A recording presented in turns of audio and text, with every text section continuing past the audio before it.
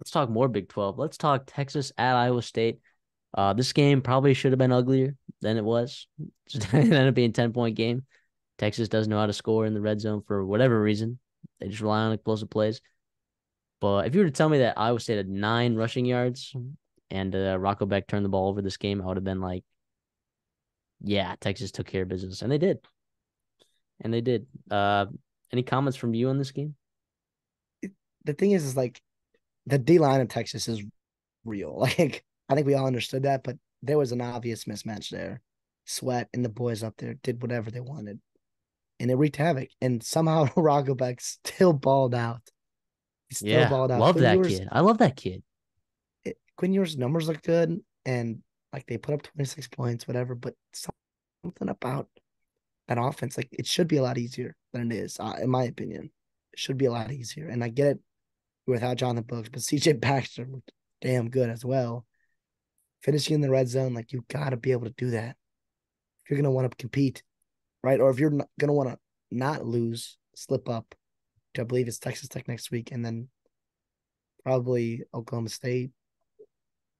I guess uh, if they went out, but if you want to compete in the college playoffs, like you're have to finish finish drives. And gosh, I don't know.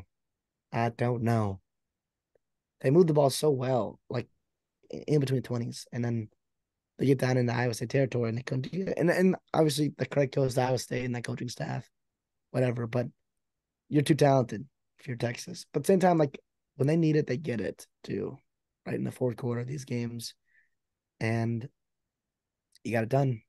You got it done. Yeah, I mean, uh, I figured you you took Texas to win and you took Texas to cover the spread.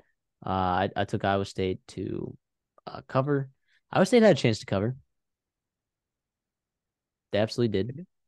Um, that field goal there with about six minutes left, put it over, uh, for you. But it, but I will say that it, it was a deserved cover by Texas, to be honest, based on the way that these team two teams played. So the question is, I mean, you kind of touched on it a little bit. Like, is is this good enough for like like what like what can Oklahoma State do? by assuming Oklahoma State wins out, like like can Oklahoma State beat this Texas team?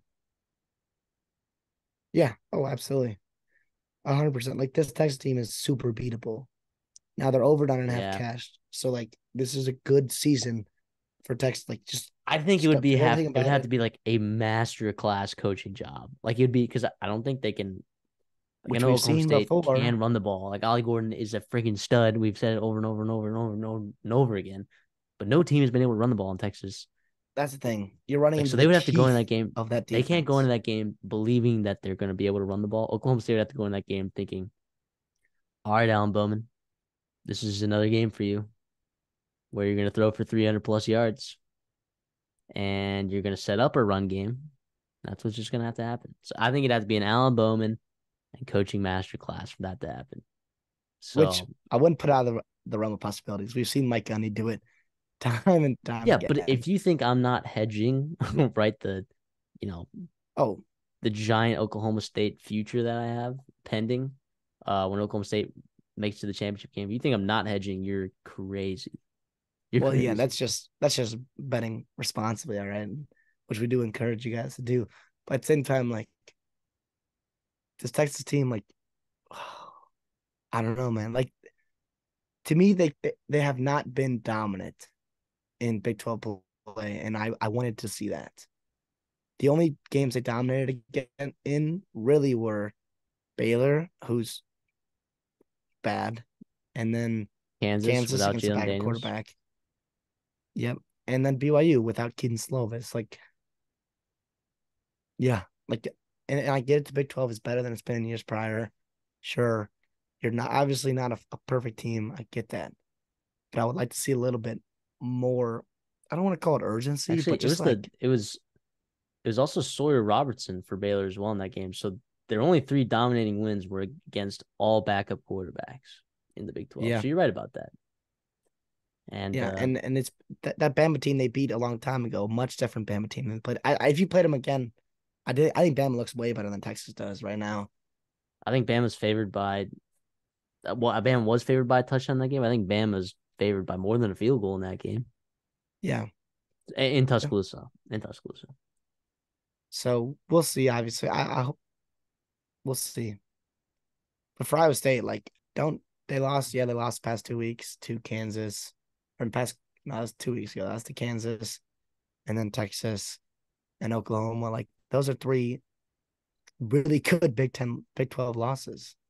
You Kansas State next week, which could be another tough game, but I, think this season is still a success for my camp for Matt Campbell. Like, you lost your quarterback to crazy circumstances. You found a guy as a redshirt freshman, Rocco Becht. We believe in. I know you believe him as well. Iowa State fans, like the expectation for this program was not crazy high, and they've they've done they've beaten the teams they should have beaten, except in the out of conference. Okay, Iowa was different or Ohio was different, but yeah, I don't know. I I I think there's there's progress here that's very evident, and the people that were like, oh, that Matt Matt Campbell's done, he's washed up, whatever. Like, no, he's still a really good coach. He still is.